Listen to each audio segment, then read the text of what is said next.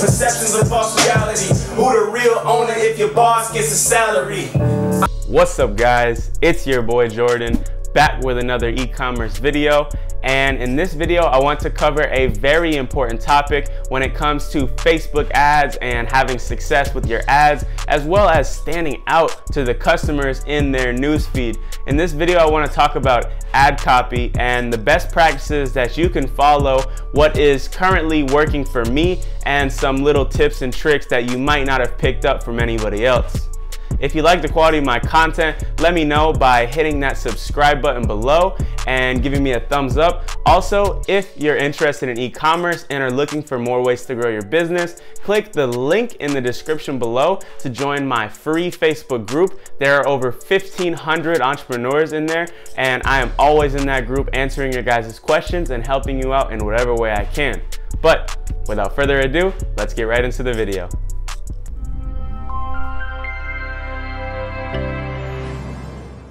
Quick side note before we get started.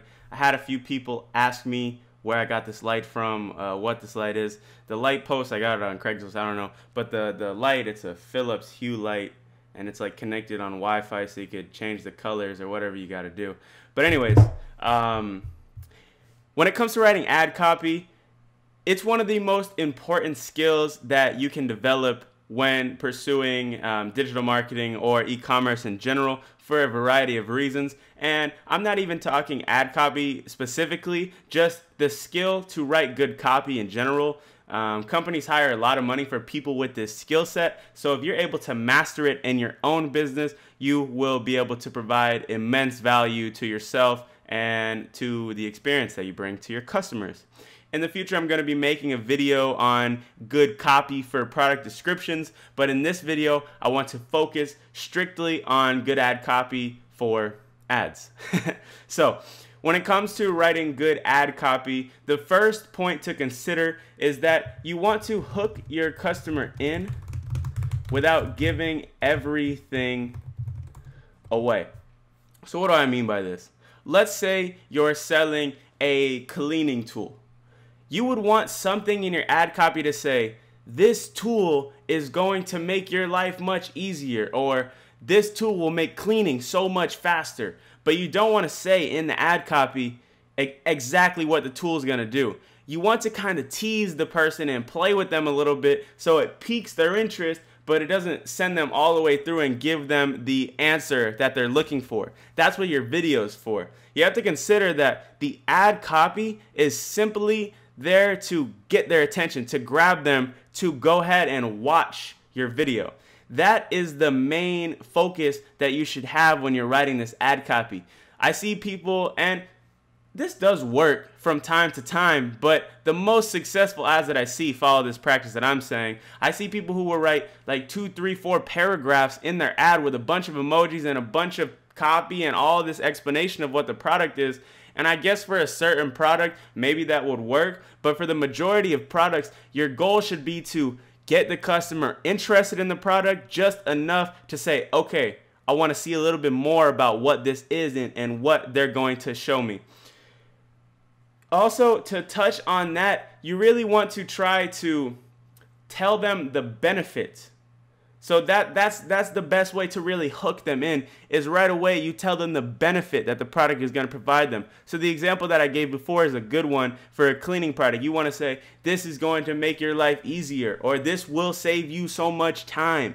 When they see that they're going to say, "Oh, maybe I do need to save a little bit of time. How can I go about saving the time?" And that is when they click your video and that's when you have your opportunity to sell them on the product that is probably the most important point that I'm going to share to you guys and I wanted to cover it first. So the rest of the tips that I'm going to give you are just about the structure of your ad copy and the way to put everything together.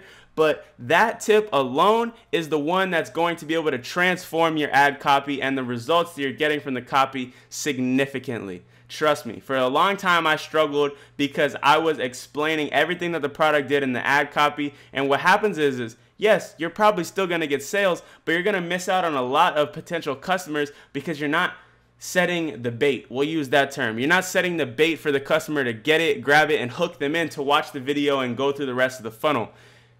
when you explain the product right out of the gate, you're gonna get people who are interested in it and buy it. But when you hook them in, you're going to get people who might not have been interested in the first place potentially to become interested, which will ultimately result in more sales. So I hope that makes sense. Um, I tried to cover that in the simplest way possible, but um, there's a lot of science behind ad copy, and I really suggest that you guys look into this and research it yourself a little bit extra. This is just more of a baseline and a guideline to follow for structuring these ads, but it's a really important skill, and you definitely should put it together. The next tip that I want to say is don't use too much text. So, oh wow.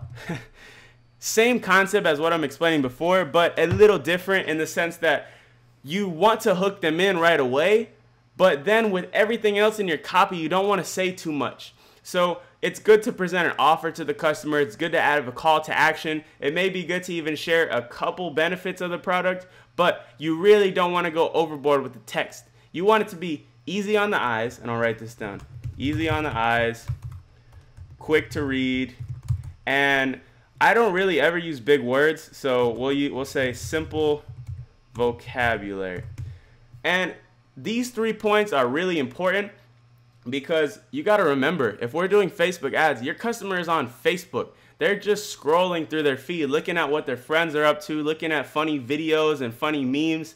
You don't want to be that giant wall of text. They're just going to keep scrolling right past that. So you want to do something that's light and simple and kind of straight to the point to get them to watch your video and eventually click through to your website and go ahead and go through the rest of your funnel. And as for the simple vocabulary side of things, I think this is good for two reasons. One, for people who are international and you target somebody who may speak a little bit of English but doesn't have the best English, it's going to be good because they're going to know the basic words that you're saying or at least it'll be easily translatable. And also, not everybody is that smart when it comes to vocabulary, so go ahead and go with the simple stuff. And quick to read is pretty self explanatory.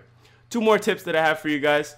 Um, the first one, and this is a big one, is to use questions in your ad copy. Questions work extremely well because it gets the customer thinking. It gets them considering whatever your topic or product is. So in the cleaning product case, we'll say, do you spend so much time cleaning or do you spend a lot of time doing the dishes? Whatever the product may be, the questions are good because it makes the customer think and consider, do I need this product? If you look at 90% of infomercials like the Billy Mays and like the Sham Wow stuff, they almost always open up with a question and it makes sense for the exact reason that I just said. The last tip that I have for you guys, and it's quite a simple one, is use emojis. Emojis are really good with Facebook and Instagram ads because they make your post seem more natural and authentic in the user's feed. The majority of their friends posting pictures are going to be using emojis. They're going to be using um, little, I guess, emojis. That's what I'm going to say. And when you put that in your ad, it really makes it seem more like an organic or just a regular Facebook post, which therefore makes them more inclined to read it, which therefore makes them inclined to watch the video and go through the whole funnel. You guys have to remember this process is like a funnel. It starts out with your customer scrolling, and the first thing is you want to hook them with a good ad copy. Once they like the ad copy, then they go ahead and go through with the video. And if your video is good, they're going to click through and purchase on your website. So it's really important to nail that first step of the funnel because then everything else will fall into place accordingly and you'll see the results that you want to see. Ad copy is something that does take a little bit of practice and trial and error, but I believe with the tips that I shared with you guys, you should have no problem mastering it in no time at all.